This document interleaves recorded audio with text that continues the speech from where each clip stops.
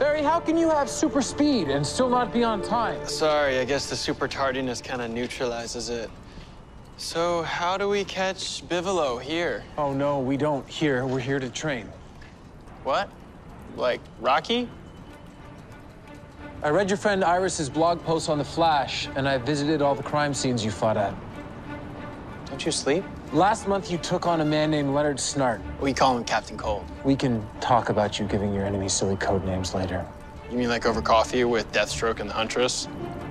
Point is that you engaged Snart on a commuter train, which he derailed. Okay, there may have been some damage, but I got the job done. I was the hero. Barry, when you approach a new environment, do you case every inch of it?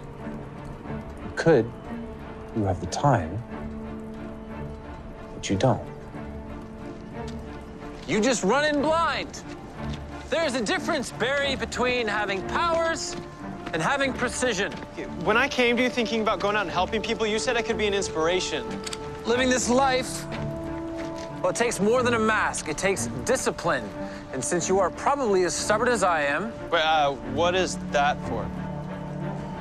you're gonna run over there, you're gonna come back at me, and you're gonna get hit with an arrow.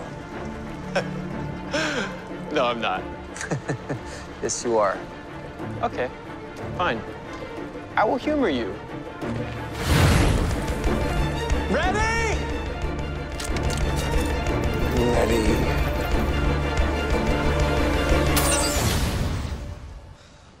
Nice try. You shot me? I heard you heal fast.